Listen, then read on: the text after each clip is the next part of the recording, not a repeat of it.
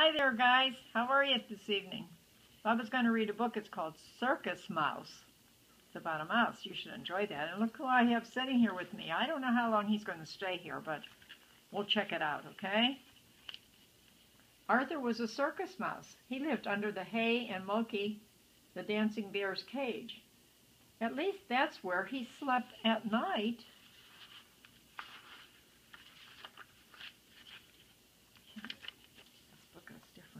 During the day, there were lots of things for Arthur to do.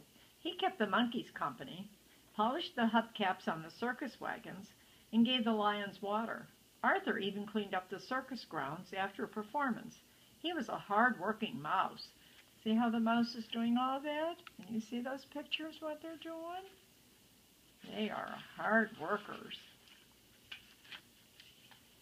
Arthur felt very gloomy. He went back to his pile of hay to think. Moki tried to help. Why don't you go ask one of the acts for a job, he suggested. I hear the juggler could use some help. Oh boy. So Arthur went off to see the juggler. He was dropping things left and right. Can you catch a wooden ball? asked the juggler. Sure, answered Arthur. Arthur almost got squished when he landed. Sorry, said the juggler. I'm afraid you're too small. Uh-oh. You think he's too small? A mouse is pretty small. Oh, there's the clown. Arthur decided to ask the clowns for a job.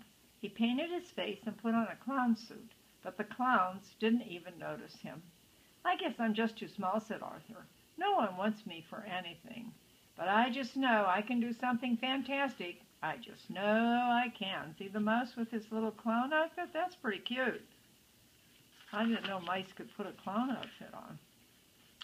Arthur went off to see his friend Horse. Horse was part of the Trick Riders Act and was one of his closest friends. No one even asks what I can do, wept Arthur. I mean, I can squeeze through a hole that is smaller than I am. I can climb up a table leg. I can balance on anything. That's it, shouted Horse. You can be part of my act. You can balance on my nose. Wow, how about that? A mouse on a horse's nose. That would be cute to see.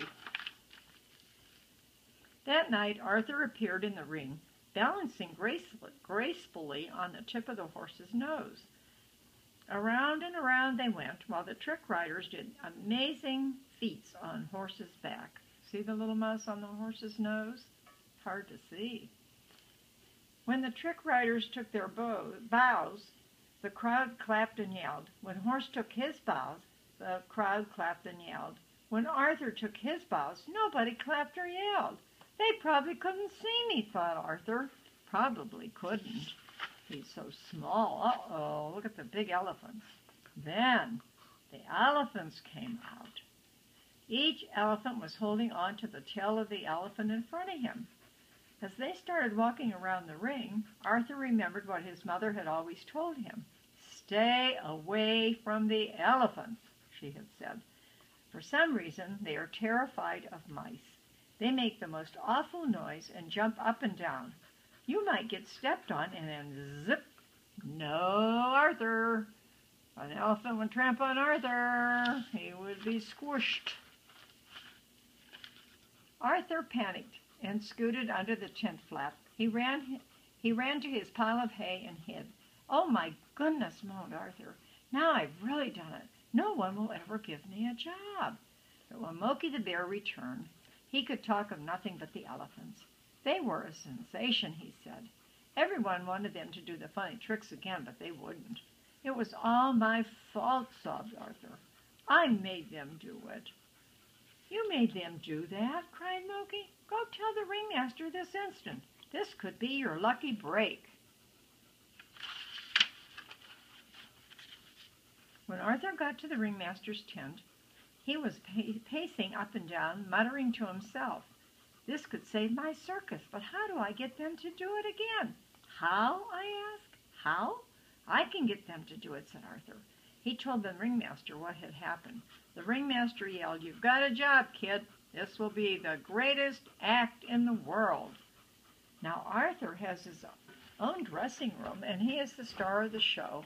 There is a big poster that says, Arthur, the circus mouse, The world's greatest elephant trainer.